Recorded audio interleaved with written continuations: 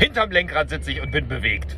Ja, freudig bewegt, weil, weißt, wisst ihr, was passiert ist? Ich mag das teilen, was bei mir immer wieder passiert. Während die meisten bei Social Media immer ja noch die ganzen rechten blocken, sag ich, ey, wir sind alle eins, wir sind ein Teil. Es gibt nichts anderes. Das Große und Ganze. Ja, ich werde wieder spirimäßig und so sehe ich das weiterhin.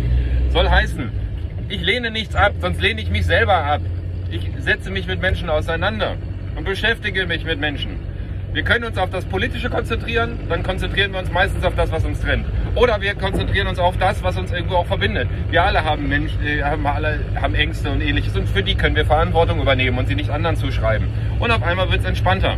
Ja, wenn du das Gefühl hast, du wirst abgelehnt, wirst du radikal.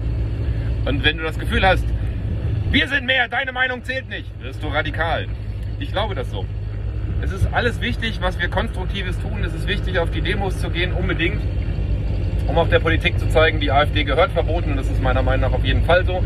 Aber nur die Meinungen lassen sich nicht verbieten. Also die Arbeit fängt an. Dazu habe ich ja mal ein Video gemacht.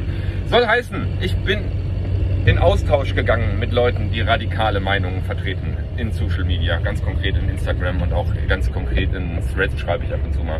Das ist Arbeit, aber ich finde es wichtig, nicht zu sagen, ey, du hast eine scheiß Meinung und du bist weg, sondern ich gehe mit den Menschen in Austausch. Und dann gehe ich persönlich in Austausch. Ich schreibe ihnen so, wie ich mit ihnen sprechen würde, wenn sie mir gegenüberstehen. Finde ich immer noch eine wichtige Herangehensweise. Was mache ich noch?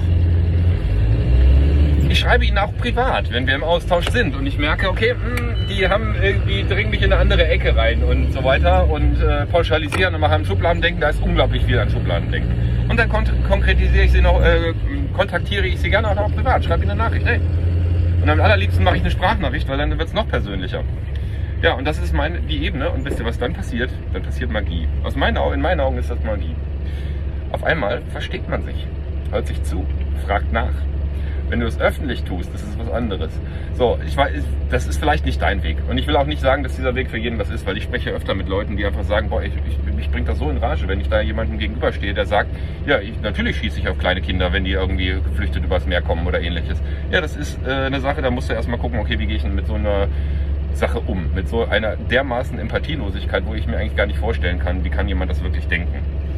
Und ähm, ja, und dann sollen die Kinder doch im Meer ersaufen oder ähnliches, wenn man vor Krieg und Terror flüchtet. Also ich weiß gar nicht, wie viel Empathielosigkeit man haben kann, um so zu denken.